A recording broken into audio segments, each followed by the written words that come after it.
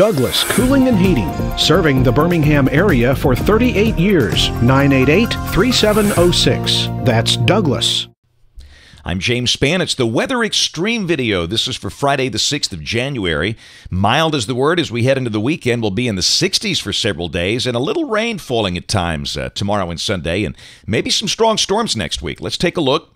We'll start with the Skycam images, and goodness gracious, isn't that nice? We've seen some wonderful sunset scenes from our Alpha Sky Skycam down at uh, Gulf Shores that was captured uh, a little before 5 o'clock yesterday. Sun goes down over the water here in January, but not in February. That sun is on the move as we are well past the solstice now. This morning, there's the uh, Fayette Skycam up in northwest Alabama. Pretty cold, colder than forecast. You know, we figured uh, most spots would stay a little above freezing, but as it turns out, most spots are a tad below freezing. And there's the Haleyville Skycam. I wonder if anybody's ever shopped at Elliott Boots and Shoes. Probably got some good stuff in there. All right, uh, there's the uh, feature over Texas we're watching. And of course, up north, you can see the northern branch has got the cold air cut off. And, you know, they warmed up really big time up into the high plains yesterday with record warmth. I think uh, Rapid City, South Dakota hit 73 yesterday. But that's all going to change next week. Uh, temperatures this morning, uh, again, you can see the cooler pocket across North Alabama back off to the east. But again, generally speaking, the really cold stuff is clearly bottled up in Canada. Nation remains pretty quiet. Uh, there's some dense fog issues in the Gulf Coast and a red flag warning in West Texas, and that's about it. And the rain for the next five days, valid through Tuesday evening. And our friends in East Texas will take that. You know, they've had that big drought out there, so that's a good thing. And around here, the amounts uh, taper off from about three quarters of an inch in the north down to uh, quarter inch around Dothan. And uh, we'll see. There could be some strong storms and good rain here, maybe Tuesday or Tuesday night, just beyond this period. We'll check the modeling. This is the 06ZGFS at noon today at 500 millibars. And again, you can see that weakness in the southern branch, but uh, today we stayed dry, mild. Highs up in the uh, mid 60s, around 65. We'll call it partly sunny. Clouds will thicken tonight.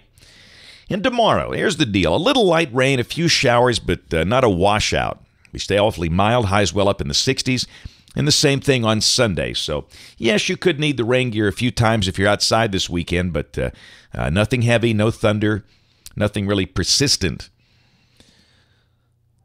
All right, uh, let's go to Monday of next week. Pretty much the same deal.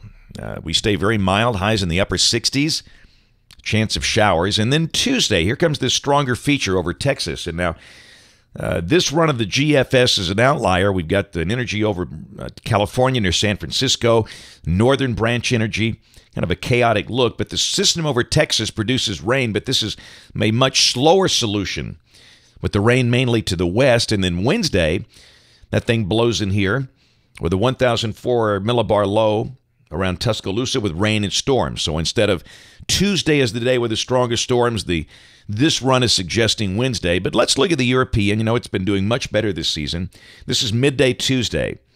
And uh, again, it's got a better look for rain and storms Tuesday and Tuesday night. And then by Wednesday, that feature's on the way out. That's what we believe will be the case. So we're going to stick with the forecast with a chance of showers and strong storms, maybe severe We'll see. The, the, models will not be able to handle the instability values this far in advance. We'll just say strong to severe. We'll read, you know, define that Monday when we get back.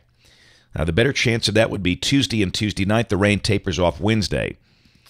All right, this is Thursday. Back to the GFS. We begin to turn cooler, but nothing dramatically cool. And all of a sudden, Friday of next week, that big deep trough that was over the east, it's not there. Everything's out of phase, and down below that, you know, it's cool, but not really cold. And then the uh, following day, Saturday the 14th, it's not cold at all. We've seen some runs that make it really cold here. But, hey, you know, this run of the GFS just looks screwy. So let's look at the European.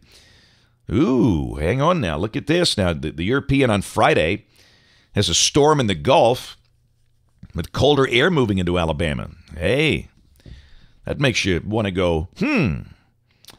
Um, again, that it might happen. But if this is right, all the rain would be too far south for snow here. And then on uh, Saturday the 14th, it's brutally cold. You can see the difference. You know, the GFS had it pretty mild. This thing has the 540 line almost down to Tampa Bay, and that would suggest highs only in the 30s and lows down in the uh, teens by Sunday morning, and we'll go with that solution. That, that's more consistent with the idea we've had. We'll go out there later in the uh, month. How about January 19th? Ooh, all right. Now that's an interesting setup. Uh, looks pretty cold, energy swinging our way, and look at that now. Snow fans will love this. But this is pure voodoo, nothing beyond that. Got a 1040 millibar Arctic high around uh, Gage, Oklahoma. Storm in the Gulf, snow, but, you know, we'll see. And then on the 20th, it's just cold. But let's look at the uh, teleconnections. Uh, first off, the NAO. This is the ensembles. And uh, again, looking at the top chart, you can see how the NAO wants to kind of trend negative, but not really strongly. Uh, out there at mid month, but this is the one everybody's kind of buzzing about. This is the Arctic Oscillation, the AO. And it takes a big dip. And, and when that thing goes negative, it kind of opens the gates of the Yukon. And again, from there, where it goes kind of depends on the NAO. But evidence clearly that we're going to trend toward that big cold snap uh, in about a week or so. And We'll see if maybe this is the sign of that pattern change that everybody's been looking for. That's it for the Weather Xtreme video today. We'll have notes on the blog. The next video here by 3.30 or so today. And if you live around here, we invite you to watch us on television this evening, ABC 3340 in Birmingham at 4, 5, 6, and 10. Thanks for watching. Have a great day, and God bless.